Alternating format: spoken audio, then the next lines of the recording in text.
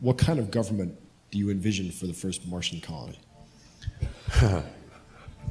Um, so we're after And, and what's your and what's your title? Yeah, yeah, exactly. Emperor or God Emperor? I don't know. it Might be too much. I don't know.